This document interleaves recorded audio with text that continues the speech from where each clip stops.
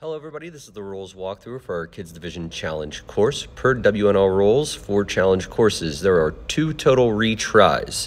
You cannot use both retries on the same obstacle. So if you fail the obstacle twice, that is the finish of the point system. You must wait until the obstacle is reset and the referee to count you down. Other rules, no grabbing straps or carabiners and no topping on vertical holds. Obstacle number one is hands and feet. You have the three vertical bars and two horizontal bars to use to climb across. You'll see Andrew using all of these all of these bars. The finish platform is the plyo box and it is a stick platform. Obstacle number two is hands only. You have the ring to use and your finish platform is a stick platform. Obstacle number three is feet only. You have the blue part of the trampoline. The box, the black box is off and the platform is a stick platform. Obstacle number four is feet only. You have the bars on the precision bars to use as well as the top of the blue rocker and your finished platform is a stick platform.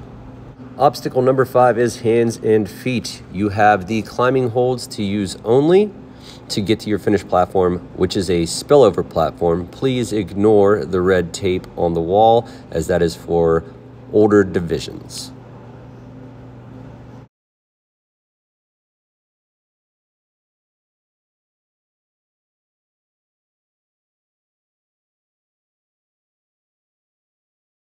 Obstacle number six starts on our plyo box. You have hands only on the rings and hands and feet on the rope.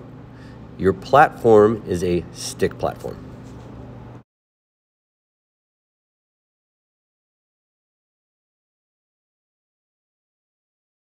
Obstacle number seven, you have hands and feet on the steps. You have hands only on the pegs, and you can use your feet anywhere in the middle. You also have the pegs of the Iron Maiden to use, and your platform is a spillover platform. Obstacle number eight is hands only. We have the shield as a start. This may change day of the competition, but you have the ring, jugster, bull, and duck to use to get to your platform, which is technically a spillover platform. Obstacle number nine, you have your starting platform as the black plyo box. You have uh, an ascending pipe bomb swing lane, but you also have the pipes in the rig to use you have both horizontal bars and vertical bar to use to get to your platform, which is a spillover platform.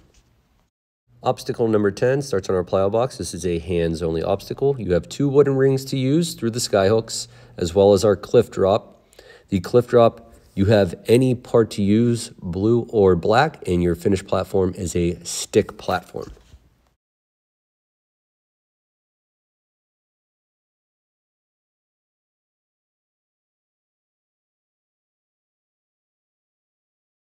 Our last obstacle, obstacle number 11, you have two ropes to use.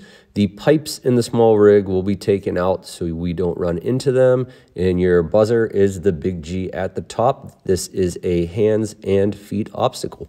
Thank you everybody for signing up and we can't wait to host you.